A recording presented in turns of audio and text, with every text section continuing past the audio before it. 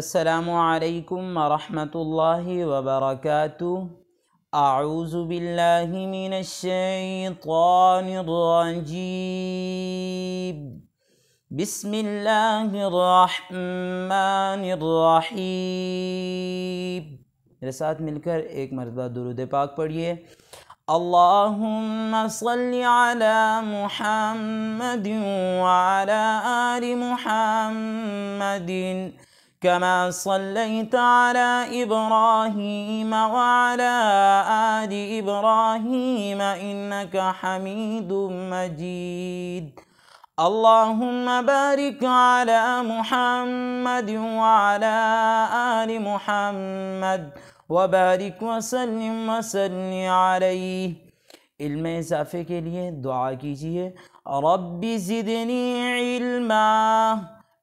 ए अल्लाह, मेरे इल्म में इजाफ़ा फरमा। आज की इस वीडियो में हम पांचवा कलमा जो है सीखेंगे और पांचवा कलमा इस्तफ़ार इस्तफ़ार माने तौबा करना।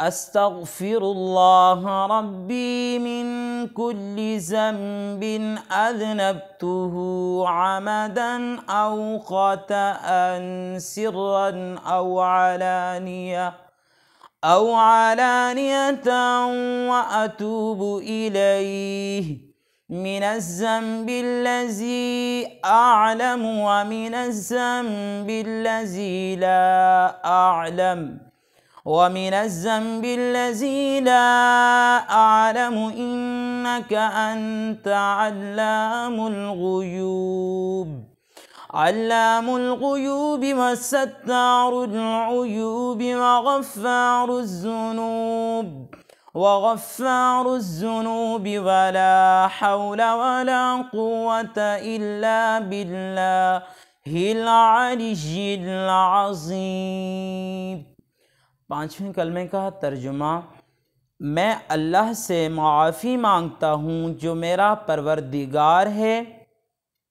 हर गुनाह से जो मैंने जानबूझकर किया या भूल कर छुप कर किया या ज़ाहिर होकर, और मैं उसकी बारगाह में तोबा करता हूँ, उस गुनाह से जिसको मैं जानता हूँ और उस गुनाह से जिसको मैं नहीं जानता।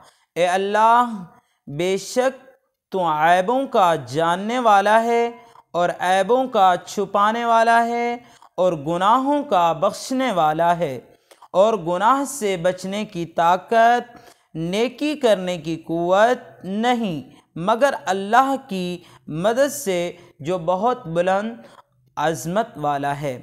पाँचवें कलमे के अंदर एक अक्सरियत जो मैंने देखी है बच्चों से और बड़ों से जो गलती होती है, वो ये है कि अस्तगफिरुल्लाह रब्बी मिन कुल्ली ज़म्बिन अजनबतुहु आमदन आउ खाता आ इसको क्या पढ़ते हैं? आउ खाता आ खाता अन नहीं पढ़ते या ख़ता अन तो ये ख़ता अन नहीं है, यहाँ पर ये गलती जो है, देख लीजिए, ये लफ्ज़ जो है, असल में ख़ाता अन है।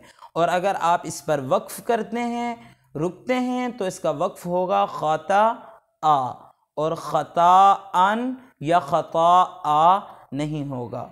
ठीक। अल्लाह पाक से दुआ है, जो कुछ सुना, सुनाया और सीखा, उस पर अमल करने की तोफ़ी कता फ़रमाए। जज़ाकल्लाहु खैरा।